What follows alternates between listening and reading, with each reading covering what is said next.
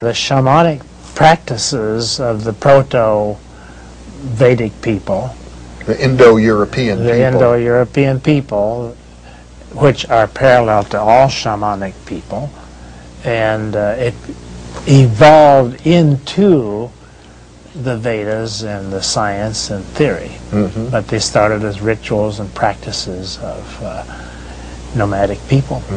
And sometimes we have a sense in the West that spirituality is very otherworldly, sort of separate from our day-to-day practical experience. But as, as you explore the Sanskrit tradition, in particular its tantric origins, there is a different sense, uh, a, a sense of oneness, of, of our, our sensuality and our spirituality uh, really coming together, as, as you expressed earlier in the very word, devas.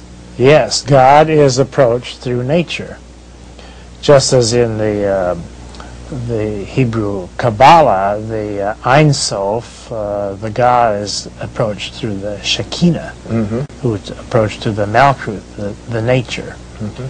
So one gets to God through nature, and one gets to nature through God. Uh-huh. Now, you've done something very interesting here, and I know you're a scholar of many traditions as well as Sanskrit by bringing in the Hebrew.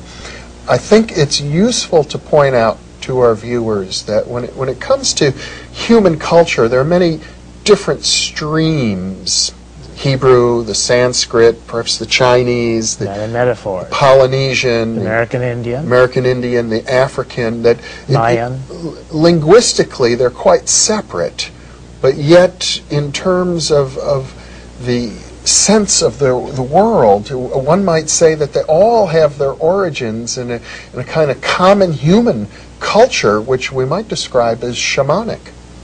Yes, they're based on experience. The raw native experience of any person, where he comes from, the, the home and the hearth and the field and the hunt, uh, lead to our metaphysics. And all these forms of metaphysics are isomorphic. Mhm. Isomorphic meaning The same form. mhm, they have the, the same form, They're different ways of saying the same thing. and, and yet uh, they, they appear quite different. Superficially, but they all reduce down to experience. hmm Well, it's very interesting as we're exploring the Sanskrit tradition. What you're saying here is is that although it d- doesn't share much history with the Hebrew tradition or the Polynesian tradition, when, when you begin exploring it in its depth, it's the same. We come to the same thing, yes. Mhm. The Vedic way is a nice way to do it because it is so thoroughly developed. Mhm. But one can do it in Polynesia just as well. Yeah. Well, we're going to be exploring some of the practical aspects of the Sanskrit tradition. In part two of this program, we'll be looking at the Yoga Sutras in particular, where we have a very specific, detailed, step by step instruction for achieving the kind of insights. Dean, thank you for being with me. And thank you for being with us.